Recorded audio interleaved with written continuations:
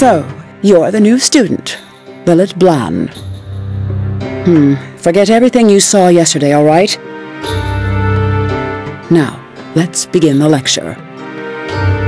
Necromancy is a holy magic, and yet it is categorized as a dark art.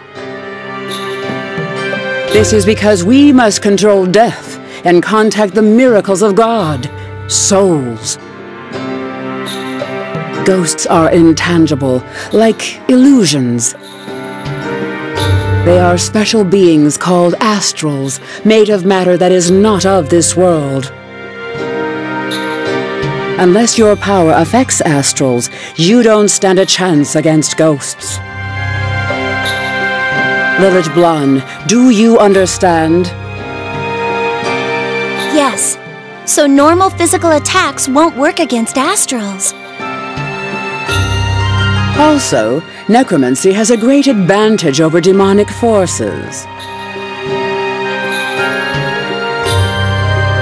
The power of sublimated spirits is similar to the greater power that evil fears. Only through the pleasures and pain of flesh can devils tempt man.